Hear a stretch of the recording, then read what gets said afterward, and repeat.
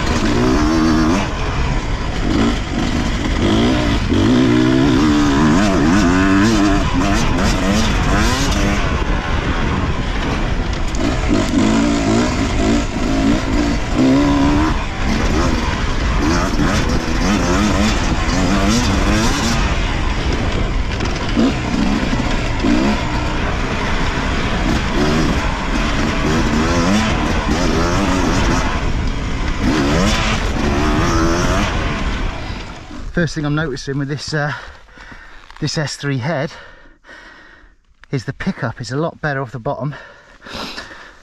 It will pull fourth in places, but third it'll pull it absolutely everywhere, no problem at all. And it's not like mega angry or super aggressive. It's just that little bit extra. Probably 5-10% more than stock, but I would say it's a really nice addition.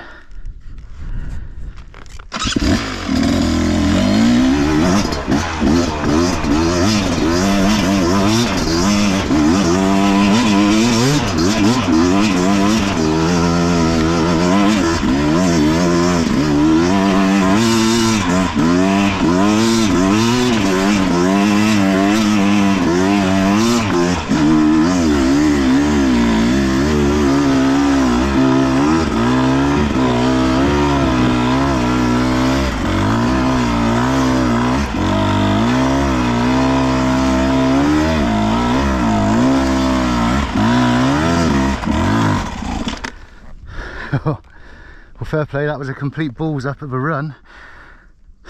But it's up here.